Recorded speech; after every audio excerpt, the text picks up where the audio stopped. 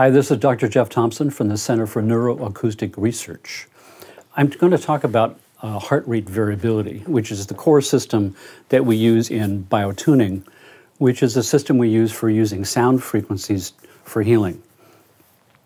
Heart rate variability is a gold standard in medicine. It tends to be a snapshot system, which takes 190 measurements of your heartbeat and does different math to it to pop up screens on your computer that shows you how your sympathetic and parasympathetic nervous system are functioning. The two main branches of the autonomic nervous system, that's the uh, main system in your body that tells all your systems what to do, kind of the master biocomputer healing program.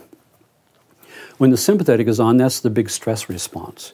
Parasympathetic is digestion, elimination, relaxation the two systems need to be at zero for most of the time that you're alive. And if you have to mobilize your energy to fight for your life, the sympathetic turns on, comes back, or digest your food, eliminate toxins, parasympathetic turns on and comes back.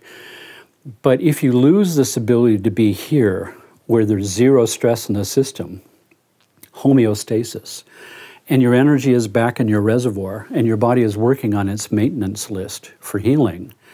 If this is broken and it's running a fight or flight response all the time, you burn up all your resources and you end up getting sick with all kinds of different diseases. So we have a system for measuring this. And when we can see that this is stuck in a fight or flight response, we can make it push in the clutch and go to zero with a precisely tuned sound frequency. That is biotuning, tuning the biological system with the sound frequency that's very precise.